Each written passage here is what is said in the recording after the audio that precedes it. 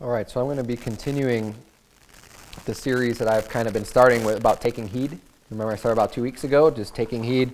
First week, taking heed to basically just to God's commandments overall, pretty general, just making sure we're taking heed to the law of the Lord that's still important for us today in the New Testament. And then last week, I went over idolatry. That was, a, that was the big, that's like probably the number one thing that's mentioned in the Bible in reference to like take heed and beware using those words is, is found more often about adultery. And tonight, what I'll be preaching on is taking heed to covetousness. Uh, the Bible says, uh, you know, and of course, the Bible says in 1 Corinthians 10, which is where we've been getting the text verse from for this whole series, you know, wherefore let him that thinketh he standeth take heed lest he fall. We all want to take heed, and we're trying to take heed to the things that the Bible says to take heed to, right? We don't want to fall. We don't want to get into these problems and into these, you know, sin, sinful actions or whatever that we want to get the warnings from the Bible. We want to beware and make sure we don't fall into these traps. So um, I'm going to start off. Keep your finger there. Keep a bookmark there. We're going to go back to Luke. But turn, if you would, to 1 Timothy chapter 6. First of all, God abhors. The Bible uses the word abhor. It's another word for hate. It's a very strong word to use. Um, God abhors the covetous. In Psalm 10, verse number 3, the Bible says, For the wicked boasteth of his heart's desire, and blesseth the covetous, whom the Lord abhorreth. See, the wicked person, they, they're proud, they boast of their heart's desire, and then they bless those that are also wicked. Blessed those that are covetous. And the Bible says that the Lord hates those that are, that are covetous. So right off the bat, we could, you know, I mean, this is, this is something that we want to stay far from. Not only that, if you're a covetous person, the Bible says that you are a wicked person. Eh, you know, keep your book. Uh, we're going to go to 1 Timothy 6. I just want you to see this. You've probably seen this before. 1 Corinthians chapter 5. I know you're keeping multiple bookmarks. I promise this is the most bookmarks you'll have in one place tonight in the sermon. We're going to go to 1 Timothy 6 right after this, 1 Corinthians 5. I just want you to see this. 1 Corinthians 5 gives us a list of sins that people can commit if you're considered a brother that is going to get you thrown out of this church and thrown out of any Bible believing church that's going to use the Bible as the standard on how things ought to be run within the church. And not only kicked out of church, but you ought to not be fellowshipping outside of church with people that are guilty of these sins that we see in 1 Corinthians chapter number 5 because the Bible says that they're wicked people. Yes, you can be saved and still be a wicked person. Look at um, verse number 11. He starts off the list in 1 Corinthians 5. But now I have written unto you not to keep company. So keeping company goes beyond just attending church together. But the reason why people get kicked out of church is because if you're not supposed to keep company, well, when people are congregated together, we're fellowshipping here at church, that's keeping company. They're not going to be part of our company. But they're also not going to be part of your company. They ought not to be at least. After someone is thrown out, at least until they repent. When they repent, they get right with God, great. We're going to put all that stuff behind. Come back, brother. You know, but until that time, anybody guilty of these specific sins in this list is not going to be welcome here, not going to be welcome, hopefully, in your company either. But I have now written unto you not to keep company. If any man is called a brother, be a fornicator, look at the second one, or covetous or an idolater, or a railer, or a drunkard, or an extortioner with such an one, no, not to eat it. Don't even go have a meal with this person.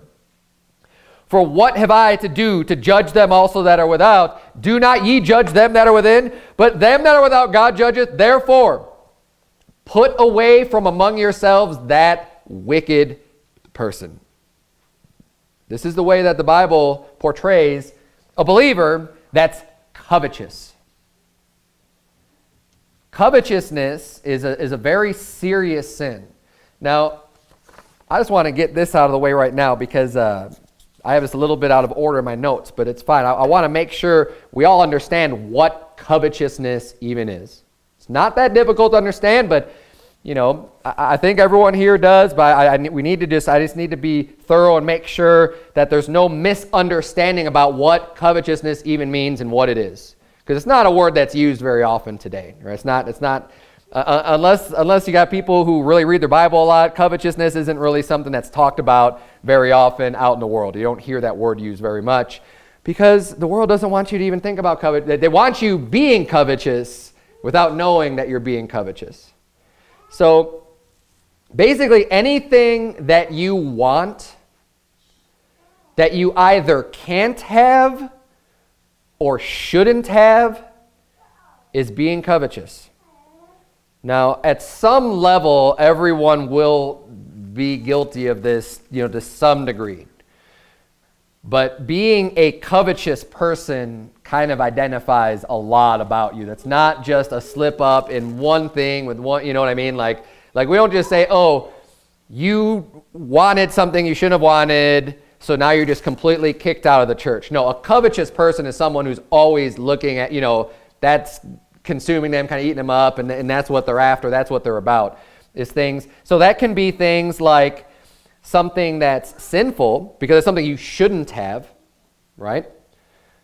Um, booze, for example, right? Someone wants to, to get drunk and you're covetous, you're longing after this. That's, that, you're, you're coveting something. The Bible says not to have it, not even to look upon it. But if you are, are just kind of yearning for, you're desiring it, you're coveting something that you shouldn't have, or coveting another person's spouse, a, a, husband or a wife, or just some other person. You know, you're married and, and you're, you're wanting to have this person or that person. You can't have that according to the Bible. That's not something you should do. That's sinful. And that is being covetous. Also, things that you can't have. So maybe there's something that just costs a whole bunch of money, and you don't have the money for it, right? And it's not necessarily anything sinful. It could be a, you know, a sports car or a boat or what, you know, whatever, whatever pe- things that are not inherently sinful that people might want to have. And for different people, it could be all kinds of different things because there's people who don't have very much money at all and people have more, you know, so it's like if someone has the means to drop a bunch of money on something that's just not inherently sinful, that's not, there's nothing wrong with that. They could go ahead and they go out and buy it and, and it's done. No big deal, no sin. But when you are just looking at something and desiring something and wanting something and you don't have the money for it, and you're not going to be able to get it, that becomes sinful. That's covetousness. That's desiring something that you can't have. Wishing you had something that, that God hasn't given you the means for. Now, this sermon is going to go really good hand in hand with this morning's sermon about, um, you know, we read a lot of service, uh, verses about being content, right? We're talking about being thankful thankful with what you have goes along with being content with what you have. And when you're content with what you have, you're not going to be looking at other things that you don't have and be worried about being covetous toward that. A covetous heart is actually a very selfish heart and can become a bitter heart. Why? Because you don't have something, you become bitter over not having whatever it is you're setting your focus on. And again, whether it be another person, whether it be a thing, an object, doesn't matter. There's a, there's a broad spectrum of things that, that covetousness encompasses. Um, Exodus chapter 20 gives a list of a bunch of things. So Exodus 20 is a part of the Ten Commandments, right? The last commandment is, Thou shalt not covet.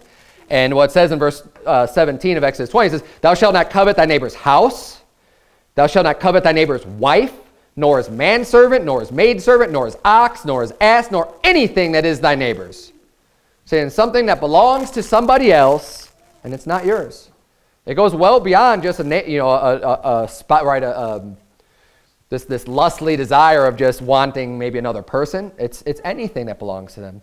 You know, some people look at other people and honestly they, they kind of wish they had that person's life.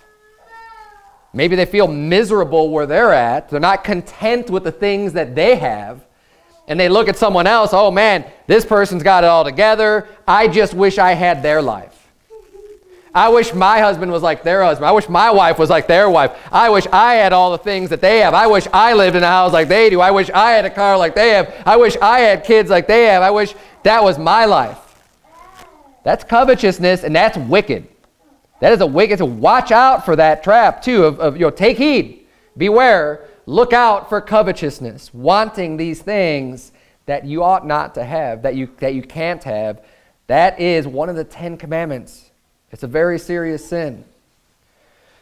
So the, the covetous heart is a selfish heart because you're thinking about yourself. You're thinking about what you want and what you need to have, and, and it becomes bitter because you don't have those things. And it's miserable to be covetous because a covetous person's never going to be satisfied.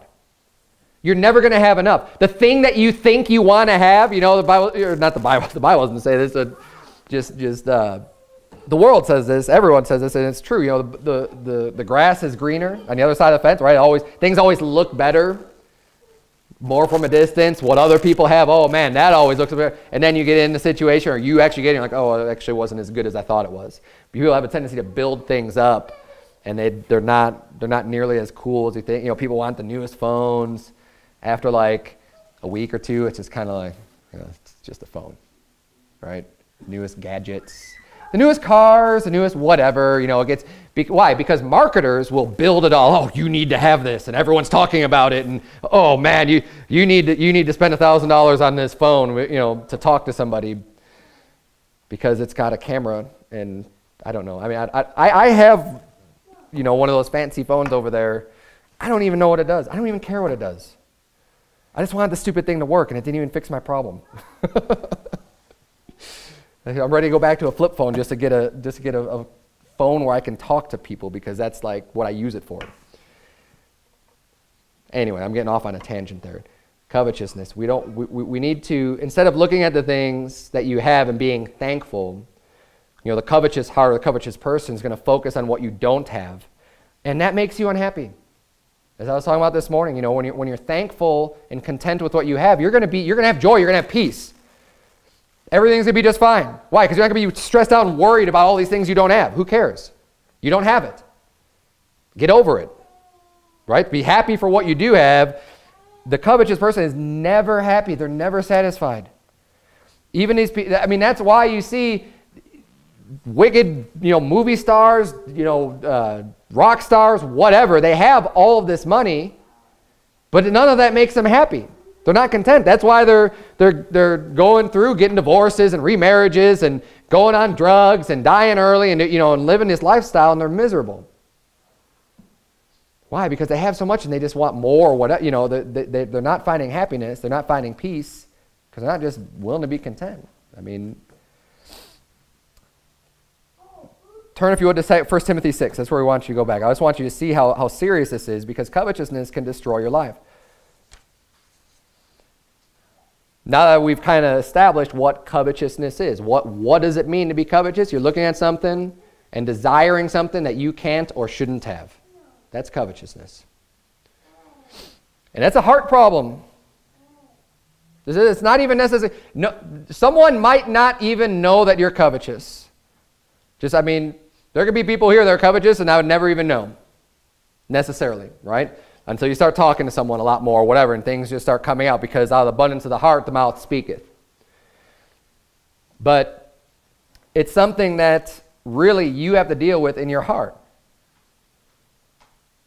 Because you're not necessarily going off and breaking a commandment. Right? You could be covetous after someone, someone else's spouse and not actually go through and commit the act of committing adultery. But the covetousness itself is a wicked sin wanting that, desiring that, something you can't have, that, is, that alone is an extremely wicked sin. You don't even have to go off and commit the action in order to be guilty of that sin. But see, it's something that it's in your heart, it's in your mind. No one else can would necessarily know that. So, you, you know, everyone needs to do a self-analysis on your own covetousness and beware of it. Take heed. Why? Because it will destroy your life. Covetous will destroy your life. 1 Timothy chapter 6, look at verse number 6. The Bible says, But godliness with contentment is great gain. Again, referring to being content with what you have. If you're godly, if you're, do, you're living a godly life, and you have contentment about that, that's great gain.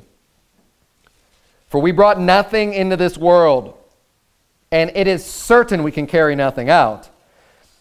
And having food and raiment, let us be therewith content. This is our instruction on what we need to be content with food and clothing. Do you have those two things? I know everybody in this room does. I know, like, everybody in America does. Food and clothing. And the Bible says we ought to be content with that. We don't need to be complaining and coveting and wanting all this other stuff and wanting all, you know, the whole world, Obama or Trump or whoever is in president, they, they need to give me a bunch of free stuff. I'm entitled to all this stuff. No, you're not. Bible says be content. Hey, do you have clothing? Do you have, do you have clothes on your back? Yes. Do you have food? Well, I don't have a steak. The Bible doesn't say you're going to get a steak. Okay? It just says food and clothing. Be content. Be satisfied with what you have. It's, it'll do wonders for your life. You'll be happy. And, it's, and, then, and then it follows up that admonition, having food and raiment, let us be there with content. Let's just, you know, we got that, we're doing good. Having that type of an attitude. But they that will be rich. Now, it doesn't mean they are that are going to be rich, like something's going to happen, they're going to be rich. Will means it's what you want, it's your desire. They that will be which, which, rich. They that will be rich. If you have this goal and this desire in your mind, I want to be rich. I want to have lots of riches. If that's where your heart is, if that's where your mind is, the Bible says they that will be rich fall. It doesn't say they might fall. It doesn't say this might happen to you. It says no, they fall. They that will be rich fall into temptation and a snare. When your desire is to have a bunch of this world's riches, you will fall into temptation. You're going to fall into a snare. A snare is a trap. And into many foolish and hurtful lusts, which drown men in destruction and perdition. It will destroy your life. You're going to be drowned in these lusts and in these sinful acts and things that hurt other people and yourself because you're, you're focused on the wrong thing. You're focused on the, this world's riches. For the love of money is the root of all evil. And praise God for the King James Bible. Praise God for His Word that He's preserved for us today because it's not a root of many types of evil, like these modern versions will say. No, it is the root. Again, another reason take heed.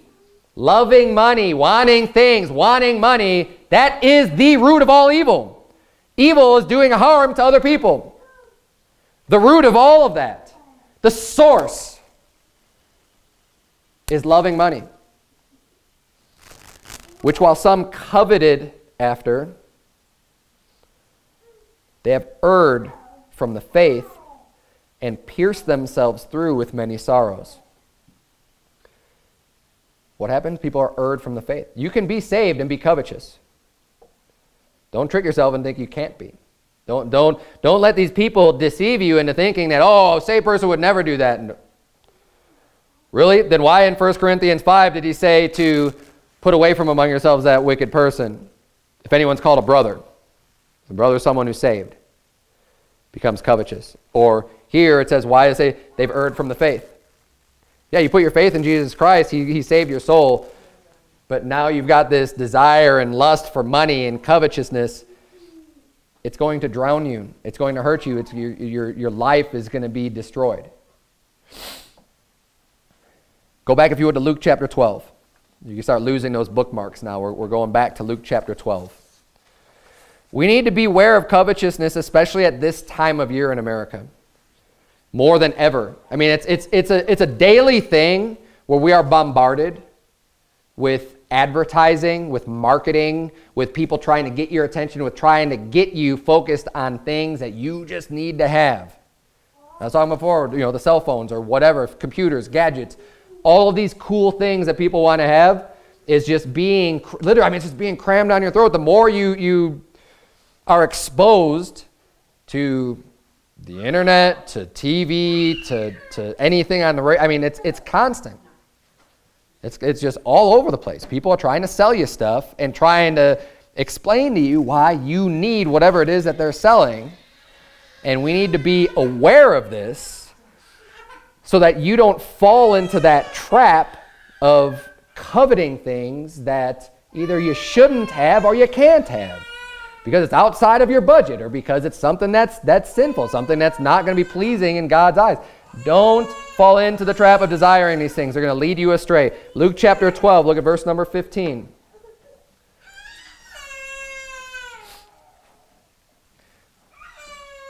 Luke chapter 12, verse 15. The Bible says, And he said unto them, Take heed and beware of covetousness. This is what we're looking at tonight. We're trying to take heed and beware of covetousness. Why? For a man's life consisteth not in the abundance of the things which he possesses. That's a powerful verse. Your life, what you are, what you're all about, who you are, it has nothing to do with the things that you own. Don't make it about that. You know why? Because that's vain and empty. A lot of people live like, life this way. They live life for their status. They live life to accumulate toys and things and cars and houses and whatever money can buy. And they compare themselves and consider themselves successful if you can buy a lot of stuff, if you have this big house, if you, you know, all these things you could accumulate. And Jesus Christ said, Beware of that. Don't fall into that trap of that type of a mindset because that's not what your life is all about. God has placed you here for a reason, and it wasn't just to accumulate a bunch of crap that's going to be burned up when Jesus Christ comes back, anyways. And most of the stuff won't even last that long. Most of the stuff you have, it's falling apart already. I mean, it falls apart. You know, most of this crap is made in China. It's going to be destroyed in five years, let alone a hundred or however long it's going to take before, you know, doesn't matter. This stuff's going to be gone. Gone. And, and that's going to be, and, and we have a parable in here. We're going to see that, how, um, I believe it's in Luke 16. The man that, that laid everything up for himself. He laid up his treasure on this earth, and then he died. And it, what good did that do him? That is not what life's all about. If you think that's what life's all about, I, I feel sorry for you. I really, I feel sorry for people who think that this life is all just about making money and buying things, because that's miserable. That is truly miserable. Things never make you happy. No matter how much money you have, money does not make you happy. You say, oh, yeah, that's why it's easy for you to say, I don't have any money. So, you know, no. Go ahead. Go, go ahead and find out the hard way, or you could just believe God's word. You could believe Jesus Christ when he said, A man's life consisteth not in the abundance of the things which he possesses. Verse number 16, and he spake a parable unto them, saying, The ground of a certain rich man brought forth plentifully. And he thought within himself, saying, What shall I do, because I have no room where to bestow my fruit? So this guy is blessed. His ground, his, his, his, his land is just producing. And he's producing all kinds of goods. God's blessed him financially. So I was thinking, man, what am I going to do with all this stuff? I don't even have room. I don't even, I, I have so much being, you know, coming at me. I don't even know what to do with it all. I don't have anywhere to put it. Verse 18, he says, and he said, uh, this will I do. I will pull down my barns and build greater. I'm going to build bigger barns. I've got all this storehouse, which is totally sufficient for me, but I'm getting so much. You know what? I'm going to build even greater. I'm going to store it all up. He said, There will I bestow all my fruits and my goods. And you know what? What's he focused on here? Himself. Is he, is he thinking, wow, I have way more than I could ever need? Maybe I can help somebody else out. Maybe I can do something for someone. Was that his mindset? No. It was, hey, I know what I'm going to do. I'll just, I mean, I'll just get the biggest barn you've ever seen. And I'm just going to store it up all there. And then verse 19 says, And I will say to my soul, Soul, thou hast much goods laid up for many years. Take thine ease, eat, drink, and be merry. Go, I'm going to build all this stuff up. I'm going to store it all here. And then I'm going to, oh man, I'm going to be on easy street. I'm going to retire. It's going to be great. I'm just going to eat, drink, be merry, have a party, have fun. But look at what God says to a person like that. That that's, that's where their mind is. That's what they're thinking about. This is what their focus is. But God said unto him, Thou fool. Thou fool. You know what's funny? This is the mentality of the majority of people in this country, and I would say probably in the world. I'm going to earn as much as I can. I'm going to store up all this stuff, and I'm going to just work and work and work, and I'm going to put all this stuff up, and then, man, I'm on easy street and I'm going to retire and everything's going to be great. God said, Thou fool. You've worked so hard and cared so much about the things of this world. Thou fool, this night thy soul shall be required of thee. Then whose, th- whose shall those things be which thou hast provided? So you're going to die. You're not even going to get one chance to enjoy any of that stuff. And where's it going to go? Who's going to get it? What does it matter? Who knows who's going to go to? Who knows who? I mean, you're not going to be here anymore. Verse 21 So is he that layeth up treasure for himself. Look at this, and this is key though, too, and is not rich toward God. God can bless you with things. I'm not saying that there's anything wrong with being prepared in case you lose your job. I'm not saying there's anything wrong with having some money or something kind of put away to help you out when you go through a hard time. But this person, he laid up treasure for himself and he was not rich towards God. He wasn't doing anything for God because he was just focused on this worldly good, the world's goods and, and, and accumulating riches for himself. And honestly, that ought not to be. You know, if God happens to bless anyone here, just just happen, hey, you know, all of a sudden you're coming into more money and things are getting a little bit easier for you. Great, praise God for that. But don't let that then distract you and make you become unfruitful and start getting caught up in all that stuff. Oh man, this is great. I have all this money, you know, and then, and then it just takes you off instead of saying, no, I'm going to keep serving God. Great, this is nice. Okay, I'll put that over there, but that's not where my heart is. That's not where, you know, I'm not, I'm not laying up this treasure and I'm focused on this treasure. I'm, I'm you know, God bless me, great. I'm going to use it and it's going to be gone. Whatever, use it to to the glory of God. Verse 22, and he said unto his disciples, Therefore I say unto you, they're saying, because of this story, this man laid up all the treasures, and, and, and you know, his soul was required of him. Where'd the stuff go? Now he's going to teach his disciples. And therefore I say unto you, take no thought for your life, what ye shall eat, neither for the body, what ye shall put on. What were the two things we're supposed to be content with? Having food and raiment. And what did he even what did he say? Those are the things that we need. I mean, those things, if we don't have those things, we're not going to live, right? We're not going to survive as a human being on this planet. You need, you need clothing to protect your body from, from the elements, right? And you need food to sustain yourself and to keep going. Pretty simple, pretty basic. But Jesus said to his disciples, says, don't even take thought for those things. Don't even worry about that. What you're going to eat, what you're going to wear, Verse 23 The life is more than meat, and the body is more than raiment.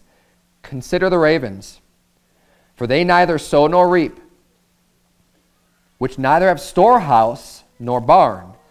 They don't have, he says, they don't go out and plow the fields. They don't put in all this work. They don't store it up. They don't have a place. Okay, now we've got all this stuff. He says, and God feedeth them how much more are ye better than the fowls? We could just look at nature. We could look at birds. We could look at animals. We can see how they survive. We can see that, you know, God provides for all these living creatures. And what he's saying is that, you know, God esteems you better than these animals. So if God's taking care of them, why wouldn't you think that God will take care of you also? And look, I think this is a hard teaching to have this faith that God truly will care about you and that, that you, or, you know, take care for you and that all you need is food and clothing. We have to fight a mindset that tells us we need telephones. We need this. We need that. We need our computer. We need our car. We need this. We need that. We need, need, need, need, need. I, am sick of hearing that word need. You know, I try to teach my children, you know, you don't need that. You don't need it. What you need is food. What you need is clothing. That's what you need. You already have that. You want things. And be careful with what you want because the Bible says that, you know, they that will be rich, if you're just looking for riches, you're going to fall into snares. You fall into the trap. Continuing on here, in verse 25, it says, And which of you, with taking thought, can add to his stature one cubit? If ye then be not able to do that thing which is least, why take ye thought for the rest? Consider the lilies, how they grow. They toil not and they spin not. And yet I say unto you that Solomon in all his glory was not arrayed like one of these. If then God so clothed the grass, which is today in the field and tomorrow is cast into the oven, how much more will he clothe you, O ye of little faith?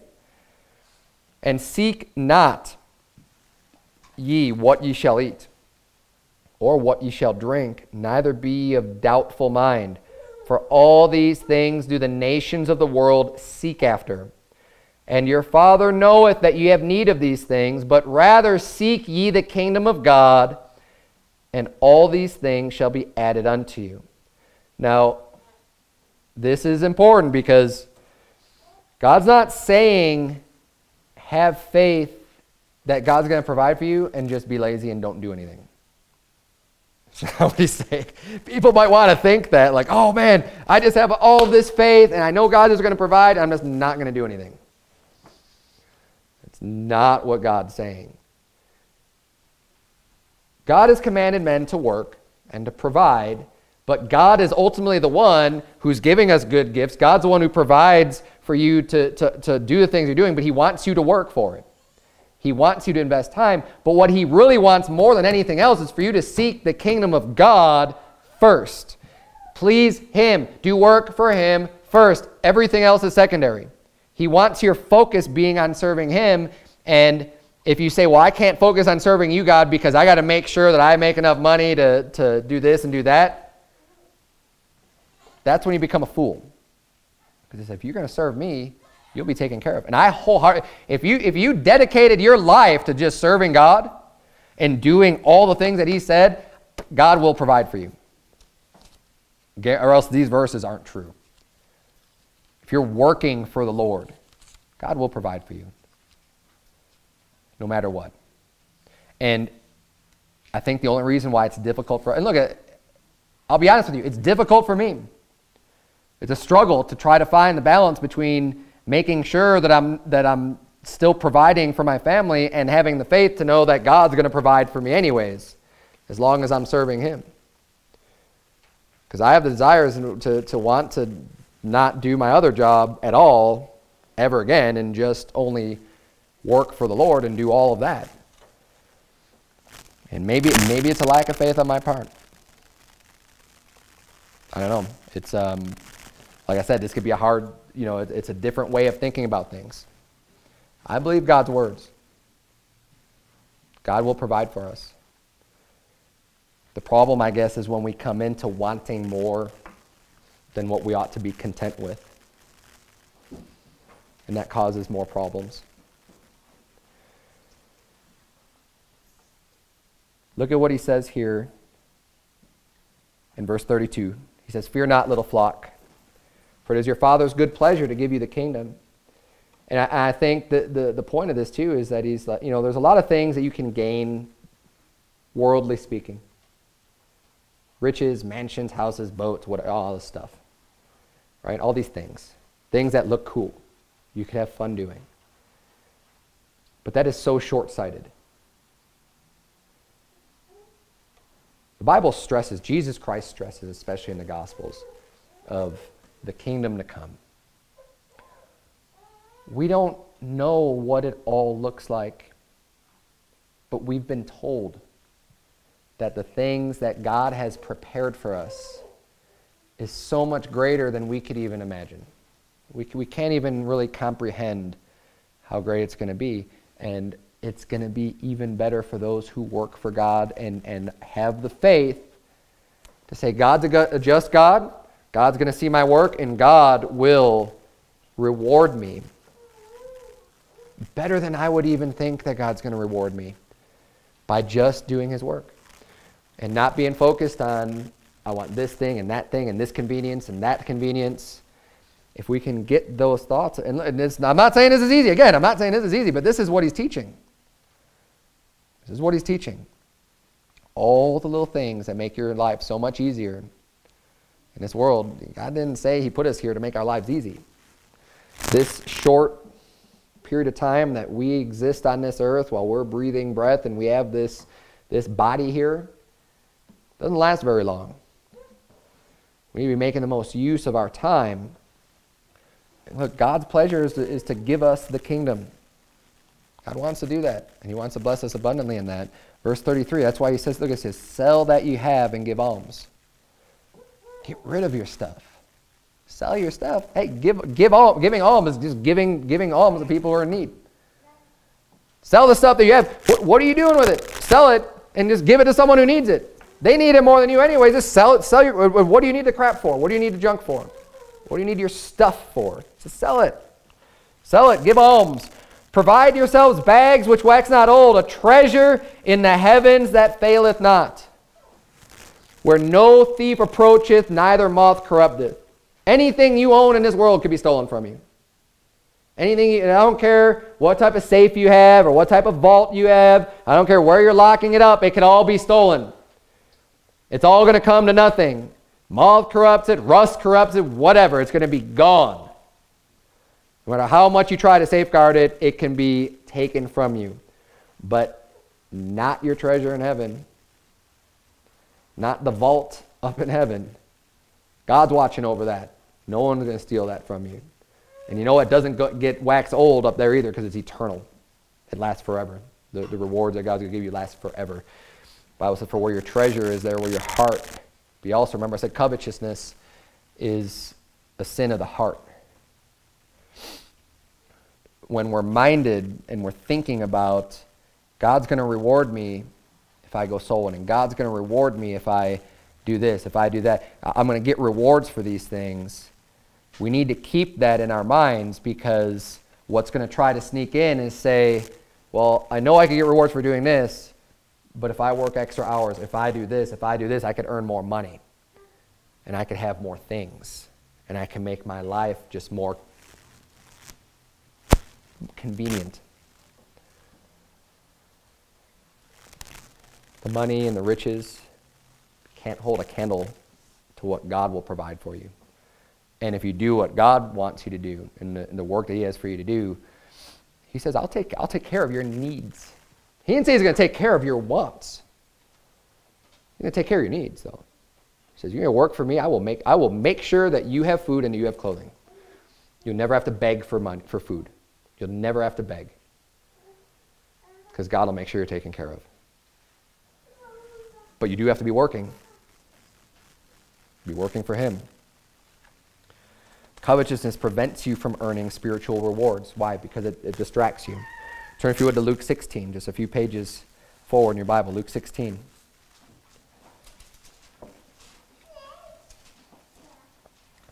You cannot, you cannot serve God if you're a covetous person. It's not going to work. Your focus is going to be on money or on mammon. Luke 16, verse 13, the Bible says, No servant can serve two masters. You have two bosses.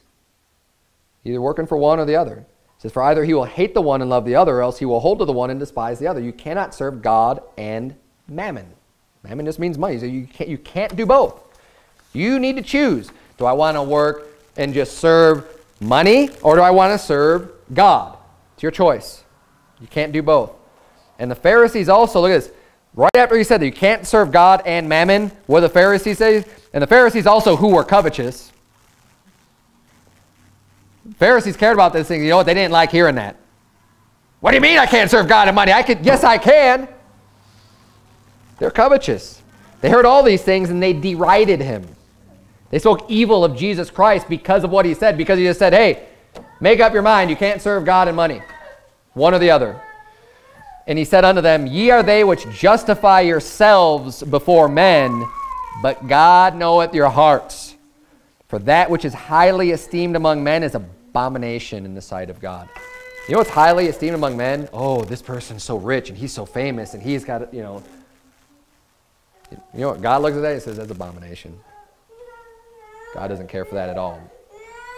And they justify themselves before men, but they don't care what God thinks. They're covetous because they're not serving God. They care about serving themselves, they care about getting more money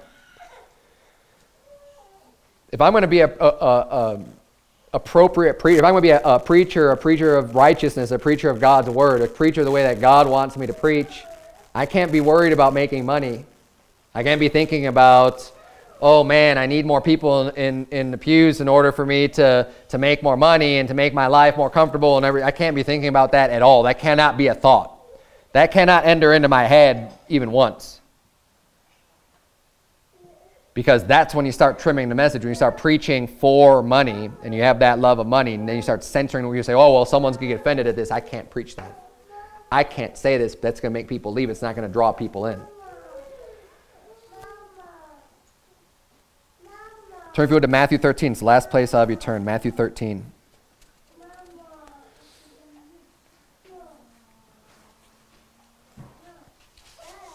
Matthew 13. We need to take heed to covetousness. And like I said, this is, this is the time of year, Christmas time. The, you know, the marketing goes through the roof.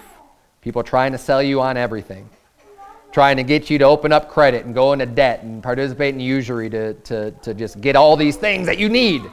You don't even know how bad you need them until we tell you how much you need them. You don't know what you're missing. You know what? You're not missing out on anything. The things that you don't have right now, you don't need them. You just need to be content with what you have. You're getting by without it now. You're still here. And your life's going to be a lot happier if you're not thinking about the things you don't have right now. And being thankful for what God's given you. Matthew 13 is the parable, you know, in, within Matthew 13 is the parable of the sower. And again, I just want to just nail this down so we understand, you know, it's not, you're not immune from sin just because you're saved. That's why we're taking heed. That's why we're trying to be diligent to take heed to God's warnings about getting wrapped up into this stuff. Matthew 13, you, or we're not going to read the whole parable. We, we know the parable. This is the explanation for starting in verse 18. Hear, there, hear ye therefore the parable of the sower. When anyone heareth the word of the kingdom and understandeth it not, then cometh the wicked one, catcheth away that which was sown in his heart. This is he which received seed by the wayside. First guy is not even saved. Didn't understand it. Didn't understand the gospel. Satan comes away, snatches it away, so now it's not in their heart anymore. They don't understand, so they're not going to get saved until they hear it again. Someone else sows seed. Verse 20. But he that received the seed in the stony places, the same as he that heareth the word, and anon with joy receiveth it. They hear the word of God, the gospel. They get saved. They receive it. Yet hath he no root in himself, but dureth for a while, for when tribulation and persecution ariseth, because the word by and by is offended. So he gets offended pretty early on because people start harassing him. Oh, you believe the Bible, whatever, you know, and, and, and starts facing a little bit of tribulation. That offends him, and he drops out of actually living the way God wants you to live. Doesn't lose his salvation. He already received the seed. He received the word. He's saved. But he couldn't handle the heat. So he's just not going to do anything for God. And look at the next, the next example, verse 22. He also that received seed among the thorns is he that heareth the word, and the care of this world and the deceitfulness of riches choke the word, and he becometh unfruitful. Now, this one's interesting because it says that he becometh unfruitful. What does that mean? He was fruitful before. He got saved, he started becoming fruitful, he became a soul winner, started living for God, and then what happened? The care of this world things started being introduced into his life. The deceitfulness of riches, the thought of, oh man, I just need to make some more money. Oh, I need to spend all my time doing this, takes you away from serving God. You become unfruitful. The more, and, and beware of this too, because you know what? God may bless you. God may bless you financially. There, there have been men in the Bible that have been blessed financially. It happens. And no, I'm not a prosperity preacher. I'm not saying, well, if you're living righteousness and you're going to get all these blessings on this earth and you're just going to have all this money and stuff, that's nonsense. The Bible, God doesn't promise you that here. He promises you riches in heaven for working for Him. But God may or may not bless you with finances. Who cares? I know both how to be abased and I know how to abound, right? Whether God gives me very little and we have to just, just scrape by, or God gives me a lot. Great. Either way, in both states, we need to maintain the right focus. The more stuff, the more abundance that you have, the easier it is to become wrapped up in that stuff. It takes more and more and more of your time. It takes more of your energy. Beware. Take heed, soul winner, because this can make you become unfruitful. I mean, think about, think about, think about this. Okay. Someone goes from not having a car to getting a car. You think, great, right? I mean, it's allow you get, get a lot, get transportation. It may save you some time because you're not taking public transportation, whatever, right? There's a lot of good benefits to that. But then, well, now you have this, this vehicle. Guess what? You got to pay registration. You got to fill the gas tank. You got to pay insurance. Oh, something broke on the car. Well, now you got to take a day off, or now you got to get it fixed, or now you got to pay someone. Oh, so it's even more money. Do you see how? I mean, it's one example. And I'm not saying you're wicked if you own a car. I own cars. Okay, I'm not saying that you're just wicked, but but this is what we need to be. You know, that's just one example. Oh, I want to have a boat. We'll have fun at the lake. Okay, now you got to need a place to store the boat. Now you need to pay more tag, title, registration, insurance. You know, all the stuff on that. Now you're gonna have to maintain that boat. Now you're going to, you know now you're gonna need a place to store it. Well, I need to build a barn or keep it in. I need you know. You follow along that path, it eats up all of your time. Well, I need to do this, and I need to do that, and I need to do this, and I need to do that, and I have this big property. Well, now I need to do this, and I need to take care of that, and I need to, you know. Well, where's your time for soul winning? Well, I, don't, I, I, can't, I don't have time.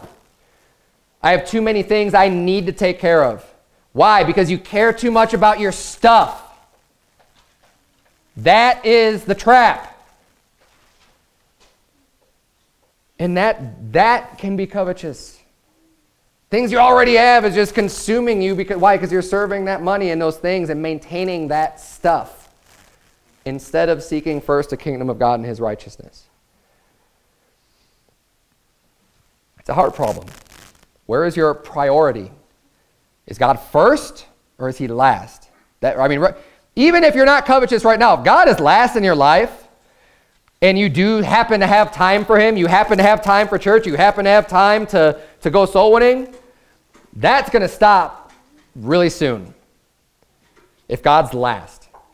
Because your life will just become full of other things because God's last. You're going to think of all this other stuff, and before you know it, church is out, Bible reading's out, praying's out, soul winning's out.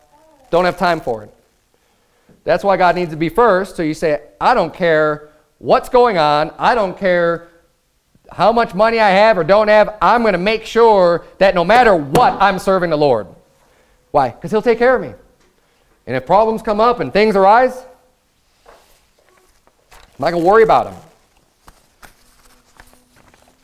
We'll take care of them. As I mentioned this morning, it may not be fun to deal with. But have the faith that God does take care of you, and God, and this is what He told us, told us, told us to do. This is what He wants us to do. Serve Him. Have the faith. Look at the finish line. Look at the treasures in heaven. Let's let our heart be where our treasure. If we're accumulating treasures, say, man, this is great. You could get on that roll and be like, man, we're soul winning, we're doing all this stuff. Let's keep moving in that direction, not away from it. Let's add more to that because why? You're, it's going to build on. It's to snowball, right? Your heart's now going to be more. Hey, I built up this. Let's keep building it, right? I mean, it's the same way people do with physical finances, with money, right? You start making a lot of money, and people want to just make more and more and more. You get a taste of that. Oh man, this is cool. Now I could do this, and now I could buy that, and now I could, you know, and you just want more. Because now all the things that you had wanted previously that you just, man, if I could just have this, things would be great. You got it, and it's not that big of a deal. So you're looking ahead, saying, okay, well, yeah, this was good, but I still, I still don't feel like we're doing that well. I just need to make a little bit more. Okay, I just need to spend a little bit more time. And that's how it goes. Beware of covetousness. Take heed. Take heed lest you fall. This happen, this, this happens to anybody. And you know what? Satan's going to want you to be tempted, especially if you're serving God right now. Because he wants you out. He wants you out of the fight, out of the race. He wants you to be choked with the cares of this world so you can become unfruitful. Let's bow our eyes have a word of prayer. Dear Heavenly Father, Lord, we thank you so much for your warnings in the Bible. God, I, I pray that you would help us all to have more faith, to we read your words, we hear your words, we look at them, and I know we believe them, dear Lord, but help us to have just the, the, the full confidence and faith to be able to trust, just as much as we trust your words for our souls to go to heaven, that we are fully trusting in you. Lord, help us to have that type of faith to, to, in every other aspect and everything else that you said, especially when it comes to, to us being taken care of and provided for, Lord. And help us to sever these, these wicked fleshly desires and appetites to just want to have more riches in this world. That's not right. And we can see that. And we have this wicked flesh. Lord, help us to mortify the deeds of our flesh.